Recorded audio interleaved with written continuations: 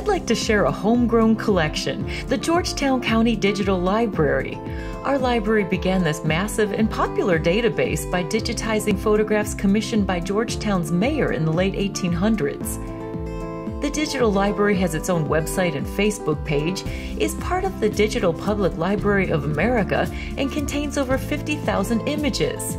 It's accessed about 5,000 times every week. Its contents have expanded to include local newspapers dating back to the late 1700s and antebellum land maps and journals. Memorabilia from local families, including expansive collections from historic heavy hitters like the Vanderbilts, Baruchs, and Huntingtons, historic postcards, and photographs of anything and everything. Inspired by many of the reasons for digital curation shared by Harvey and Oliver, but for us, ensuring long term accessibility and reusability was paramount. All these wonderful primary materials were hidden in attics and old filing cabinets, accessed and exploited by no one. Forget the digital dark age. These rare documents were speeding into permanent obsolescence thanks to mundane enemies like humidity and soaring temperatures.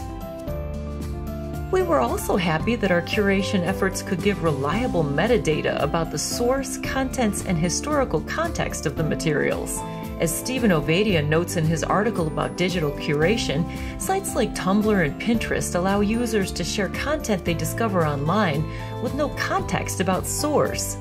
Quote, these digital content curation services, which seek to connect users to selected content, can often make it challenging for readers to determine where the content originated.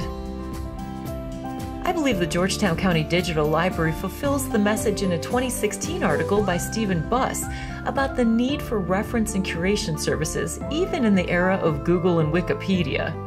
We are defined by an ethos of service, Buss said, of collaboration and partnership, and will continue to assist our constituents in solving their information needs. If you're interested in seeing some of the people, places, and events that make Georgetown County unique, visit www.gcdigital.org.